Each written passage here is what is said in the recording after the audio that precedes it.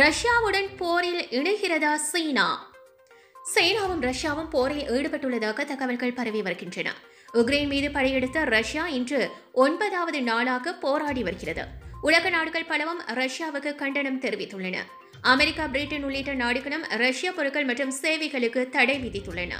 சீனாவும் ரஷ்யாவும் போரில் ஈடுபட்டுள்ளதாக பிரபல செய்தி நிறுவனம் ஒன்று தெரிவித்துள்ளது.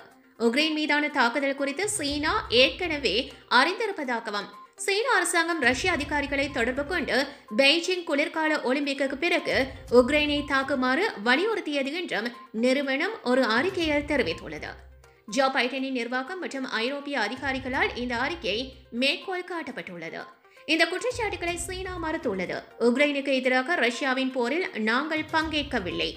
உக்ரைன் நேட்டோவில் இணைவதற்கு பல அமெரிக்க அதிகாரிகள் எதிர்ப்பு தெரிவித்துள்ளனர். அதற்காக ரஷ்யாவுடன் ஒத்துழைப்பதாக கூற முடியுமா என்று சீனா கேட்டது.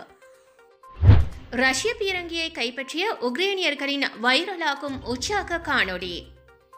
உக்ரைனை ரஷ்ய படைகள் தொடர்ந்தும் தாக்கி வருகின்ற நிலையில் சில உக்ரைனியர்கள் ரஷ்ய பீரங்கிகளை எடுத்துக்கொண்டு இங்கு மகிழ்ச்சியாக பயணிக்கும் காணொளி வைரலாக பரவியது. கர்கோ உரைப்பணி பகுதியில் டி எண்பது பிவிஎம் ரக ராணுவ பீரங்கிகளை பார்த்து உற்சாகமாக சிரித்தபடி வீடியோ எடுத்து சமூக வலைதளங்களில் பதிவிட்டுள்ளனர்.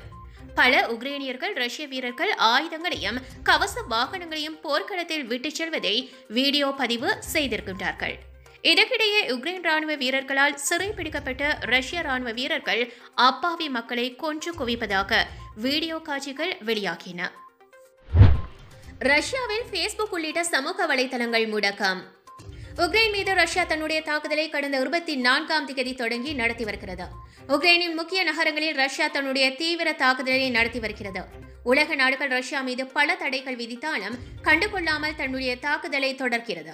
அமெரிக்கா கனடா பிரிட்டன் உள்ளிட்ட நாடுகள் பொருளாதார தடைகளை விதித்துள்ளன. இருந்தபோதும் எதையும் கருத்தில் கொள்ளாத ரஷ்யா எந்த தடைகள் விதித்தாலும் அதை பற்றி கவலைப்படாமல் தன்னுடைய தாக்குதலை தீவிரமாக நடத்தி வருகிறது. இந்நிலையில் உக்ரைன் மீதான தாக்குதலை ரஷ்யா நிறுத்த வேண்டும் என சமூக வலைதளங்களில் கருத்துக்கள் பகிரப்பட்டு வருகிறது. இதனிடையே ரஷ்யாவில் ஃபேஸ்புக் உள்ளிட்ட சமூக வலைதள பக்கம் பல இடங்களில் முடக்கப்பட்டுள்ளது.